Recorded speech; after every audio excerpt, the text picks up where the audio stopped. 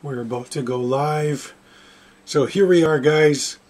Part 3 KPP Steve Artworks book. We're just going to check the content. So we're going through the Pika Pika Fantajin era. Uh, go ahead and hit the pause button and read this. I'll give you guys a chance. Assuming that you guys have read that, let's keep the show rolling here. We're going through, uh, well, in my personal opinion, this this particular era was not my favorite. Um, maybe I was watching a little too much sports at the time, but I was I was a little lost in this era, so I don't think it was very much to do with uh, the music. Well, maybe it was part partially the music. I was just doing other things. I was watching a lot of hockey, and I kind of I wasn't following as much as I should have been. So this era to me is is not very memorable for the most part. I mean, Slow Mo was awesome. The A side for that was awesome. You May Know was awesome. Kira Kira Killer was was pretty good, you know. But for the most part, like this particular era and album just wasn't for me, you know. I felt that she had a real nice buzz going. If anything, what they should have done, in my personal opinion, is they should have marketed her. Like I said, she had a good buzz, so they should have marketed her in this era just to be a little more. I don't want to say this without offending anyone, but a little less Kyary. They should have turned her into something more, how you say, universally recognizable. We'll put it that way. They should have had her doing Adidas commercials or advertising in magazines for Stussy or Thrasher magazine. You know, they should have done more of that kind of stuff during this era. They really could have, in my honest opinion, I think they really could have rocketed her out of the the locks of just mainstream Japan, you know. I think uh, hit the pause button, read that. Uh, but yeah, just just moving forward, the album was was okay. Uh, I can't say for sure that if there was a tour like a like a worldwide tour for this album, I can't guarantee that I would have went, just because it's not my favorite album. It's it's just very. It it just wasn't for me. It was for a certain group of. Uh, fans, and you guys know who you are. You got an awesome album. If you love it, that's cool. But for me personally, it just wasn't very memorable. But uh, again, back to the book. It's printed on high quality paper. I apologize for the week long break. Um, I had a lot of things. I actually went for a small trip to uh, the city I got out of this island that I'm at. So I got to take in some city and just that new release is coming up for, for Kyary like shortly. Like we're like three weeks away from that new single. I haven't heard it yet. I'm hoping. Uh, obviously, anything Kyary releases is good, right? So cannot wait to hear it.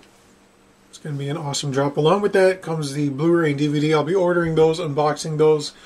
Stick around for those. I'll get those uploaded as soon as possible. Uh, I won't be in the city, so they'll be shipping to the island, and I'll be just just getting on the wagon from there, just just getting those out to the channel.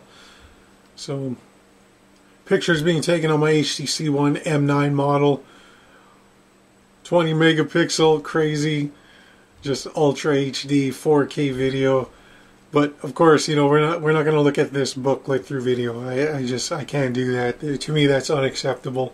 It's got to be through HD photos it just does the booklet justice. Family Party, Family Party, Family Party. What, what can I say? Uh, probably not my favorite, far from. Uh, but, you know, the singles are singles. And uh, you guys want to give this, uh, hit the pause button, give that a read. Give you guys a chance to do that now.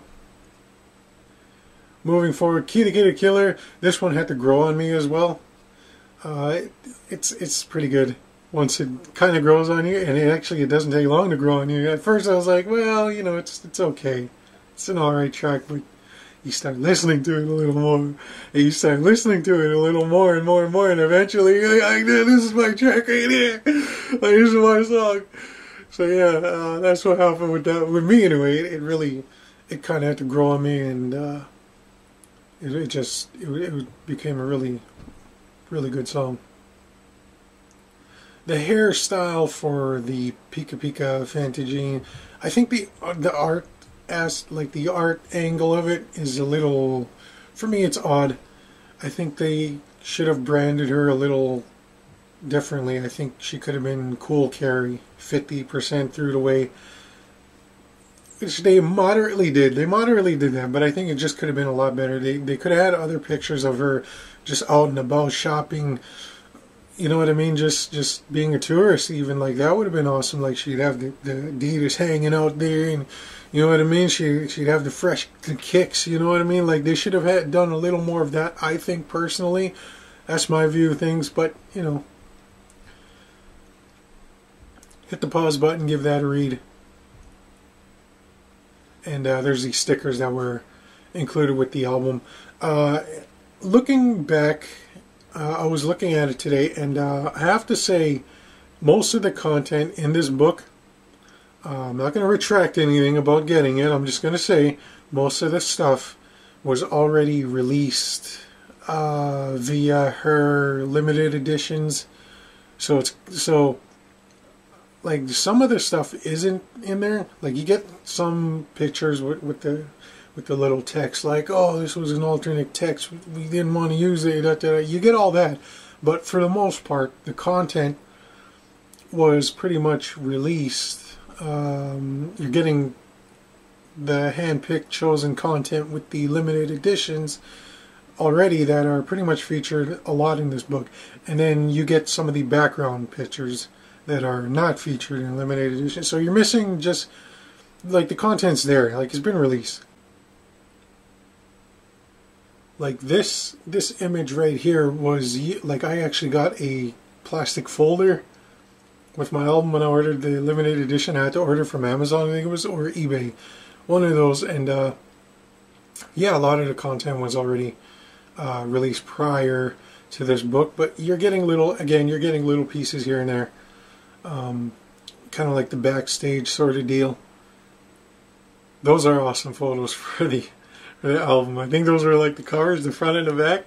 I think that was the Type A cover, and, uh, and those photos were awesome for sure. So again, they they did some of that cool Kyary. I think they could have done a little bit more personally. That's just my opinion of it. And uh, Here's some of the other pieces that you're not seeing in the limited edition, of course presented in this book. If you want my honest opinion, is the book worth getting? Um, it, it depends on the individual. It's like, well, if you're if you're into books, then you want the book. If you're more into the album and CDs, I suggest tracking down the limited edition album and CDs. Like, just because the content is already there, right? Like it's it's been prior to release, so it's really on the individual. But if you're an all-around collector and you're going the extra mile to get all the KPP while you can, you know what I mean? Like like then I suggest, you know, yeah, grab both. I mean, you know, it's like why not?